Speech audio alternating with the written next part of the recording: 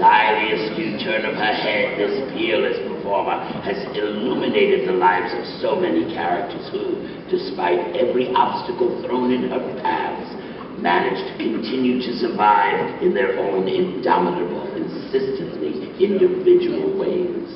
She maps her roles with delicious, knowing eccentricity, illuminating the strengths and foibles of each with a lexicon of comic detail, always grounded in emotional truth and always a delight. The judges have voted an Obie for sustained excellence of performance to Marylouise Burke.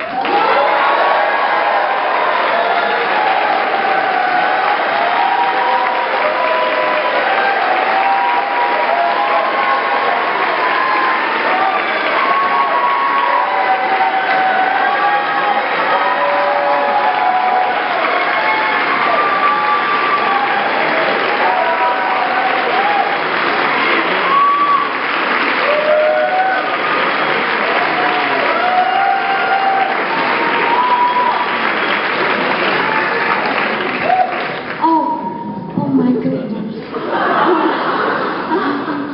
Well, I, I didn't want to just dither, so I wrote some stuff. And I'll try to talk fast so I don't take longer than Will did. Um, I, I just, I, I, I thought I, I, I am feeling a lot like California Chrome must have felt on Saturday night. Um, for those of you who don't watch Sports on One religiously at 11:30 p.m., uh, California Chrome is the most unlikely racehorse from a small-time ranch who won the Preakness on Saturday. Derby two weeks before, and I am thrilled out of my mind, and I know that California Chrome is happy for me too. And, uh, I, I just by the time I, I moved to the village, uh, I, I had already tried on a few other lives, and they had never worked for me because what I really wanted to do was act, and I just hadn't had the courage to say, I want to do this. And it was, in a way, a lot like coming out to finally say that. And I finally did, with a little help from my friends, um, pulled off a move from Pennsylvania to New York City. And my express goal was to have more opportunities to act for no money. And I had come to the perfect place. When I got off the boat or the Jersey Turnpike in uh, January of 1973, I was a kind of substantially overweight character actress in my early 30s. Don't do the math. Uh, and I had a pretty limited resume and no training program behind me, but wouldn't you know it, a master's degree in English lit.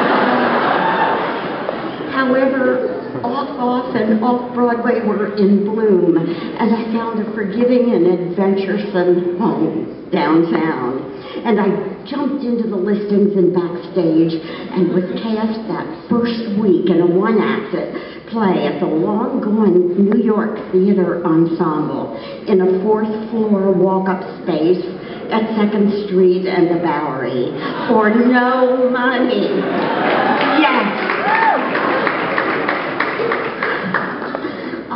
I, was here. Uh, I had a green light. And then I was discovered in that play by another director. And I went on to do another play in the same venue. I played a leper. She was sort of the ingenue. The play was written in blank verse. And of course, I have to ask, have to mention David Lindsay Bear.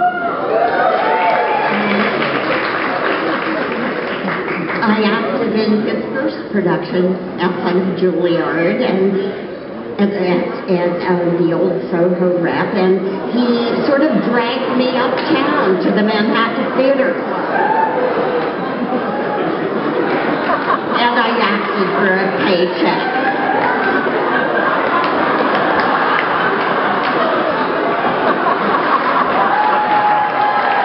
Roots and a whole tradition of opportunity and imagination in unexpected places. Thank you.